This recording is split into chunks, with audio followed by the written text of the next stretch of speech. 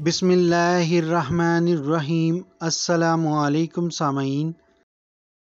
इस वीडियो में हम देखेंगे कि जासिया नाम का मतलब और इसकी मज़ीद तफसीलात क्या हैं।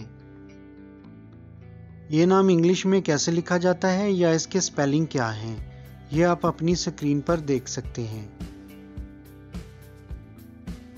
ज़ुबान है अरबी, यानी इस लफ्ज़ की इब्तदाई तारीख अरबी ज़ुबान से निकलती है। मज़हब है इस्लाम, यानी इस नाम का ज़्यादातर इस्तेमाल मुसलमानों में किया जाता है।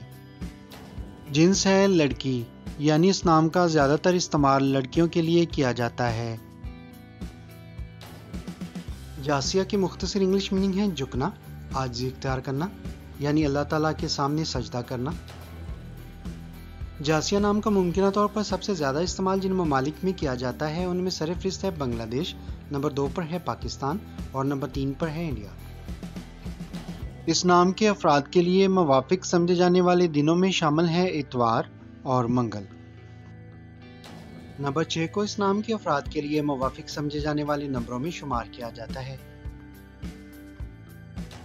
जबकि इस नाम के अफराद के लिए मवाफिक समझे जाने वाली दातों में शामिल है तांबा।